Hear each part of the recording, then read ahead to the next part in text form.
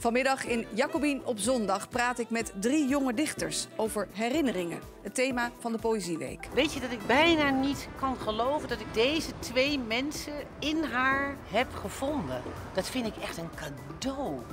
En met Adelheid Rozen en Jean-Jacques Suurmond heb ik het over dementie. Is dat een drama of ook wel een beetje een geschenk? Ik zie u graag op NPO 2.